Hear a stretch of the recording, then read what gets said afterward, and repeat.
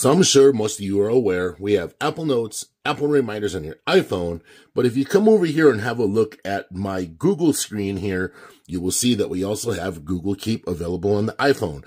Now it's been available for some time, but I do not think it gets enough recognition. So I just wanted to show you a few cool things about Google Keep and maybe you can utilize it on your iPhone as well. So we're going to tap on it. We're going to open it up and you're going to see right now how it is somewhat organized, right?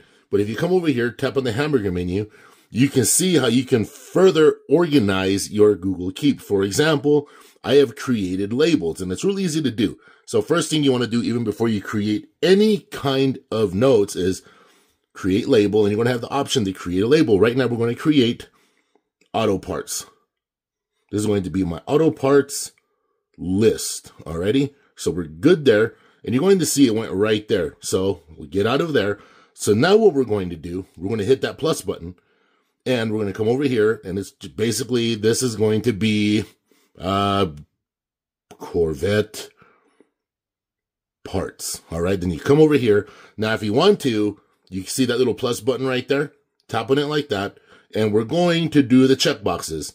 So we're going to put brake pads, fan belt, headlights, headlights. All right, so we're good there. Now, over here on these three dots, oops, over here on these three dots, what we're going to do, we're going to hit right there and you're going to see labels.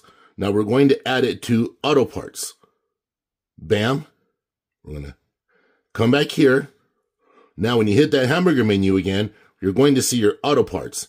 Now, what you can do, you can create different lists. Say you have a Corvette, say you have a pickup truck, and I'm just using this as an example. You can do this with anything, right? You can do this with grocery lists. Like, for example, I'll show you my, my shopping thing here. I have all these right here. So you can see I have Trader Joe's, Walmart, Costco, uh, a little bit of everything, right? I have that all in there.